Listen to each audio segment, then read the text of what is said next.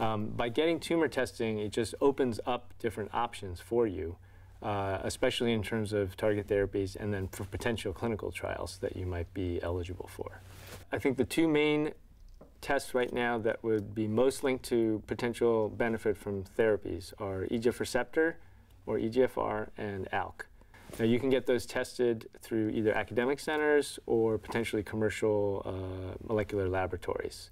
Uh, so if you're in a community practice, you know, your doctor should be able to have you sent to a commercial laboratory for testing.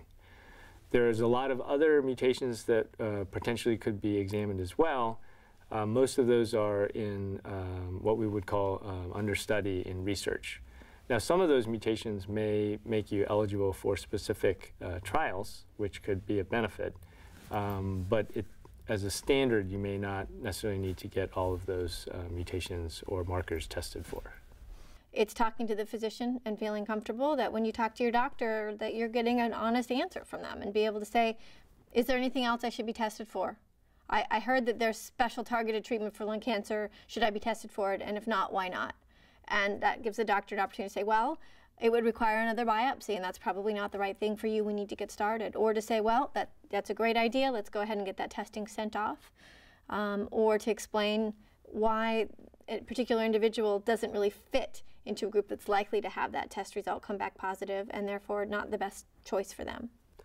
Unfortunately, the way it is, is patients may have to do some legwork in trying to get their tumor tissue out from the certain hospital, um, from a pathology laboratory, to get it to another facility for testing. Uh, what we found often is that the delay for testing uh, can be just in getting the sample from the patient's hospital rather than the actual tumor testing itself. A lot of patients come to me with either just a cytology diagnosis, so diagnosis just made from pleural fluid, uh, so uh, where a physician just drains off of off the fluid off if someone has a large amount of fluid between their lung and their chest wall. Sometimes we can get a diagnosis from that from that specimen. However, it's a very small amount of cells. Um, so that's important to know, and that's what we look look at. So cytology versus a biopsy, where they take a big chunk of tumor, and that is usually labeled as surgical pathology, where they actually are able to take a biopsy, and that usually can only be done through a bronchoscopy, or if there is a tumor on the skin, we can resect resect that. Um, so it's important to know those two sort of things. Is it just cytology based on fluid cells, or sometimes you can take a very small needle into the chest or into the tumor mass and pull, suck out the cells. But again, usually that's not enough cells to be able to do further testing beyond just what type of cancer that you have.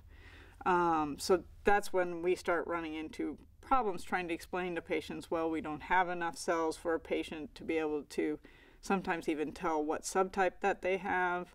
And then lastly, you know, whether or not we can do particular testing such as the epidermal growth factor mutations or things like that. It's taking a, a little bit of a cultural change uh, in different in hospitals to uh, recognize the importance of getting people's tissue sent out very quickly. Um, you know, patients can keep on top of that, or their um, caregivers, uh, you know, and keep asking the doctor. Uh, they can even go to the pathology department themselves uh, and actually get the tissue themselves and then bring it over. You know, we don't want to burden people too much, um, but those are different options that are possible.